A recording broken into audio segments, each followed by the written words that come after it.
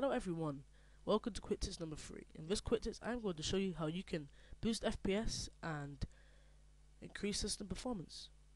The first thing you want to do is go to the description box below this video, go to the main Game Booster website which is in the description box and download Game Booster.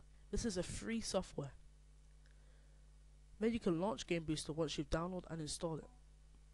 I'm going to click no, but you should click yes. They have two options, main or game defrag. I'm going to cover game defrag first.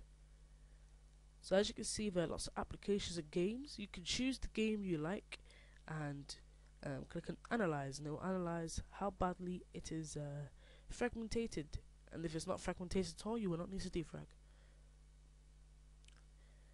Main.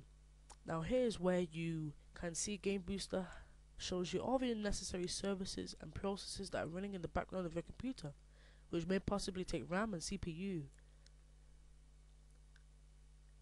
You can click on configure and choose some programs such as MSN and Steam to close that may be also be taking up CPU and RAM.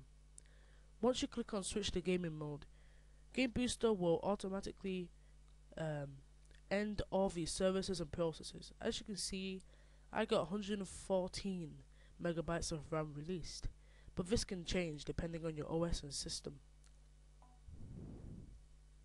Once you're ready to start using your computer normally again, you can just click back to normal mode and it will rerun all these processes and services.